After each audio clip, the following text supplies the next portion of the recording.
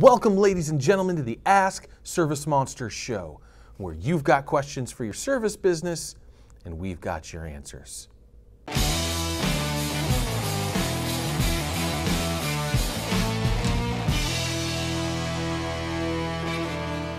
Today's question comes from Mark. He writes Joe, I'm stuck. I really want to get off the truck. I feel like I'm getting close. I'm focusing on my repeat rate, which apparently he wasn't doing before. He wants some additional advice and fuel that will help him reach that goal. So I engaged. We had a conversation. And there's a couple things that in that conversation I was concerned with. I want to share with you some of the tactics that I shared with him and some of the conversation that we had to help you get your finances straight. Now, obviously, I'm a big fan of repeat rate. I think it's the biggest thing, biggest KPI, the biggest obstacle to most of your guys' growth. Followed by number two, your ability or inability to manage your finances, both personally and the business. But I'm only going to focus on the business today. So, obviously, making more money is a big deal, and you want to continue to grow your company over time, and that will draw in more and more revenue.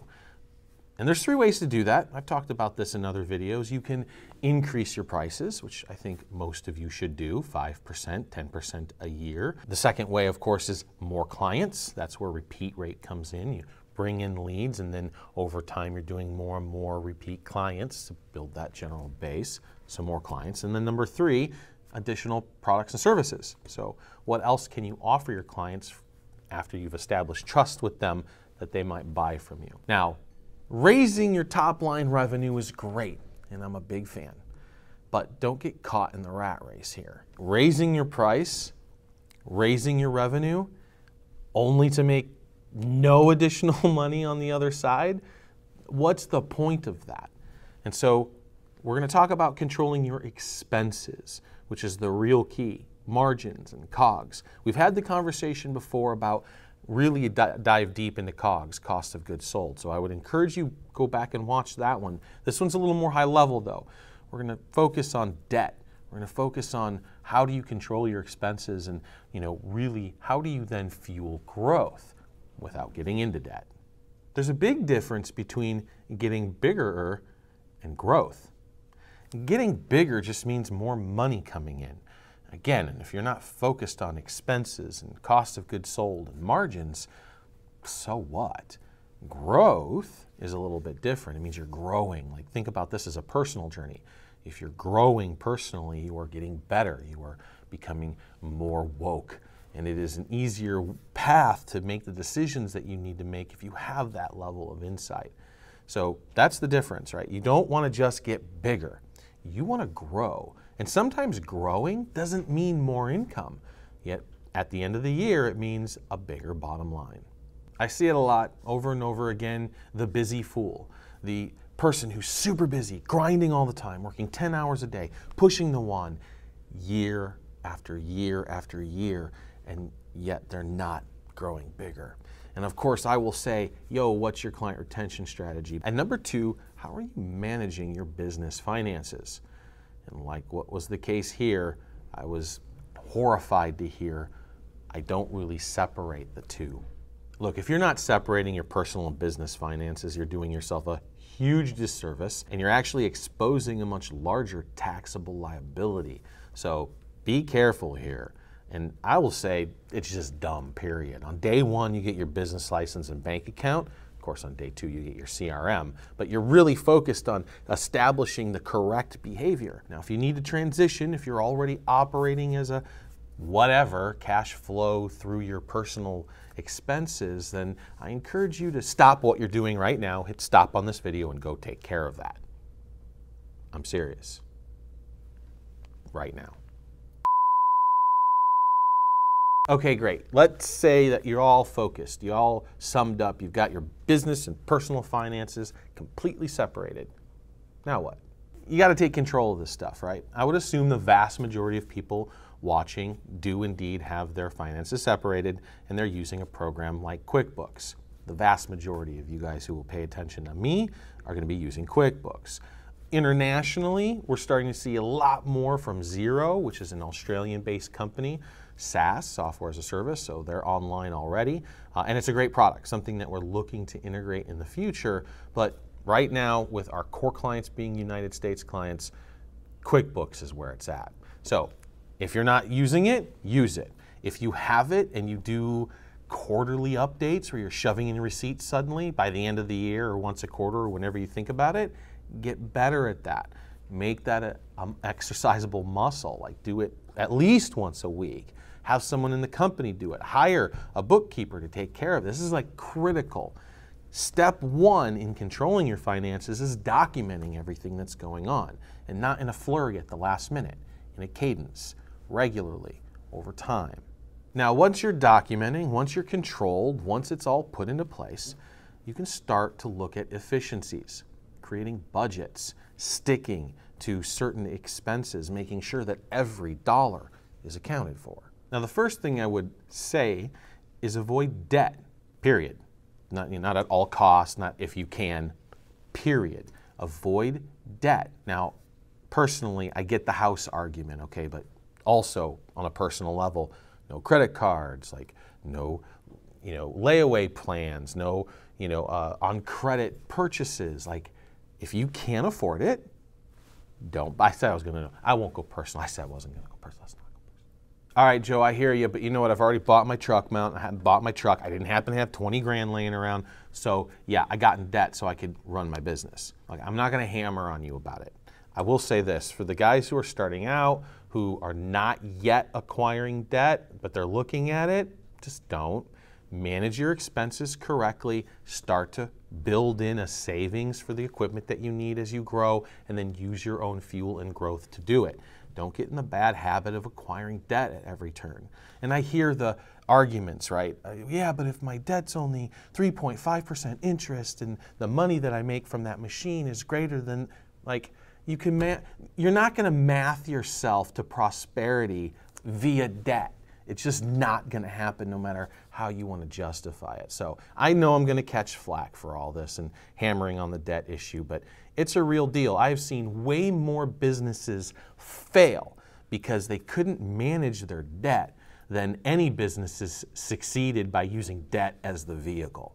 VC companies, obviously notwithstanding, but look at the stats on that. 90% of them fail. VCs hand out money like candy to 10 companies, knowing one is probably going to be the one that hits, and the rest fail fast. Get rid of them as quick as possible. All right, fine. I'm off my soapbox. So you've got some debt. How do you manage it? Well, Dave Ramsey is a good inspiration here. In the personal format, he created something called the baby steps. You save up a thousand bucks for an emergency fund. Step two is paying off your non-house debt credit cards, lowest to largest, not by ratio of interest, but by the amount of money you owe, and just start knocking them out, rolling up the amount you were spending on the smaller ones into the bigger ones, wiping that out. Step three is three to six months of expenses. And step four, start working on retirement and paying off your house. Great personal plan. Go listen to Dave on that. For business, it's pretty close too.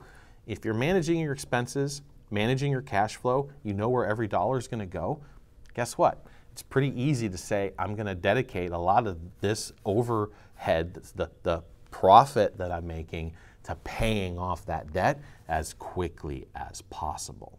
Okay, I'm I'm done with that. Another mistake I see guys doing is diversifying too early. Now, I'm not saying don't diversify, right? If you're running a $5 million company, then yeah, let's talk about diversification. Let's talk about investing and using your fuel and horsepower and brain power and how much you can bring to the table to other companies and helping them out. I get it, that's great. Or maybe even leveraging your clients or your employees to do other ventures. Sure. But before you're 10, 12 employees, a million dollars, a million and a half dollars, where the business can run with or without you, stay away from getting sidetracked with diversification. Focus on your goal and build the business till it can run without you. Then go chase whatever dreams you'd like. Look, finances, right, it's boring. Most entrepreneurs, including myself, don't want to do them. If I were to create this business by myself, I would be in a much worse position than I am now in this arena, guaranteed. Eric has been my go to guy for this. He likes numbers, he likes making sure the books are in order and up to date on a regular basis. So Love that, but that's why I say every visionary needs a pessimistic accountant, someone to keep track of the books and keep your ass grounded. So if you don't have the flavor, if you have no desire to try to keep up on this, you've got to get some help here. Otherwise, you're just going to completely stifle yourself. Now, if you don't have that option, you got to be in it to win it. Study some finance. Learn about calculating your cost of goods sold.